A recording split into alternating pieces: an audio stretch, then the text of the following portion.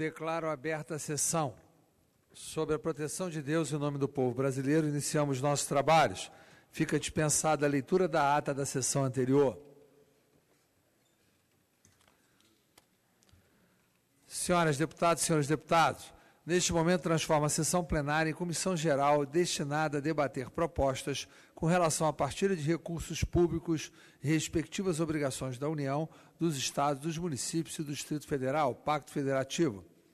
Sobre a mesa, acha-se à disposição das senhoras e dos senhores parlamentares folha de inscrição destinada a quem queira fazer uso da palavra.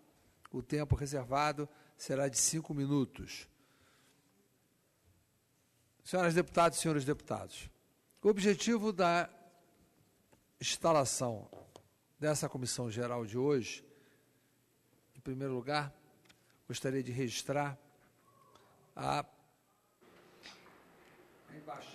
10 horas e 18 minutos em Brasília, passamos a transmitir direto plenário Ulisses Guimarães, Comissão Geral para discutir o Pacto Federativo. Presidindo a sessão, o presidente da Câmara, deputado Eduardo Cunha. Azerbaijão planeja visitar Brasília nos dias, é, agora, nesse período de 14 a 18 de março. Objetivo da visita discussão de perspectiva das relações bilaterais entre o Azerbaijão e o Brasil e reforçar a cooperação interparlamentar. A composição da delegação do Azerbaijão é a seguinte: senhor Azim Molazed, membro da Assembleia Nacional. Sua Excelência o senhor Aslan Javarov, membro da Assembleia Nacional. Sua Excelência o senhor Mukhtar Babayev, membro da Assembleia Nacional.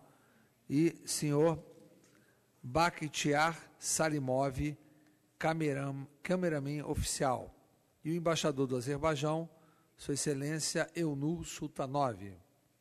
No âmbito da visita, gentilmente solicita é, ao apoio das relações bilaterais que esse parlamento está de todo pronto, deseja as boas-vindas, que vocês possam ter uma profitosa missão e visita dentro do parlamento do nosso país. Sejam bem-vindos, deputado Cláudio Cajado, que faz parte da,